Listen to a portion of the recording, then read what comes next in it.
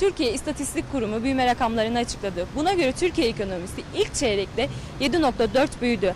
Ancak Türkiye'de ekonomik kriz var diyenler de vardı, kriz yok diyenler de vardı.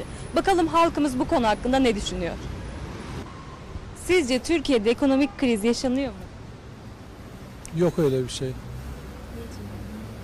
Ekonomi olmadığı için yok. Ekonomik kriz var tabi de. Yani açıklayacak bir şey yok aslında. Sadece bizi değil. Esnafın genelinde etkileşim var yani. Bu kriz bütün işletmelerde iflaza sebebiyet veriyor. Maliyetlerin artmasının sebebi de işçi giderleri, kira giderleri. Bir de krizin en büyük sebebi esnaf patlaması, esnafın fazla olması. Yani bir mahallede 3 bakkal varken market açıldığında 3 bakkal müessesesini kapatmak zorunda kaldı.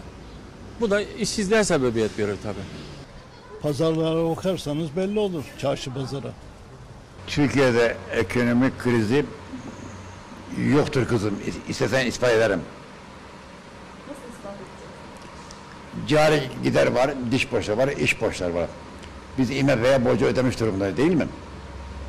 Kriz demek biraz şatafatlı kelime olur. Zira şöyle ki bu yapılan binaları görüyorsunuz, görüyorsunuz değil mi binaları? Sizce Türkiye'de ekonomik kriz yaşanıyor mu? Bence yaşanmıyor. Niçin yaşanıyor? Herkes alışverişini yapıyor. Bayramlarda olsun, alışverişte de olsun herkes rahatlıkla yapabiliyor. Ha bir kriz olarak ne görünüyor? Kredi kartına çok yükleniyorlar. Ondan sıkıntı yaşıyorlar. Normalde kriz diye bir şey yok. Sizce Türkiye'de ekonomik kriz yaşanıyor mu? Elbette yaşanıyor. Bu kriz sizi nasıl etkiliyor? Ya her e, her alanda etkiliyor yani ya, e, yaşamda olsun, alışverişte olsun. Her her evet her e, yani her alanda etkileniyorsun. Bir büyüme var deniliyor. Nasıl büyüme? Bizim cebimize veya evimize yansımıyor bu. Bu büyümeyi nasıl hesaplıyorlar onu da bilmiyoruz. Onu da anlamıyoruz.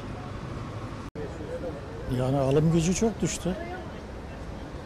Benim gelirimle giderim bayağı bir mesela bir yıl önce aldığım bir ürünü şimdi iki üç katını alıyorum.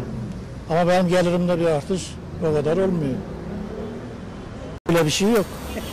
Türkiye'de ekonomik kriz diye bir şey görmedim ben.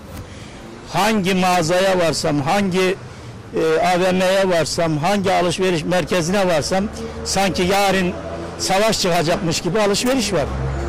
Neresinde kriz bunun? O kriz diyenler var ya, krizi isteyenler çığırtkanlık yapanlar. Türkiye'de kriz yok.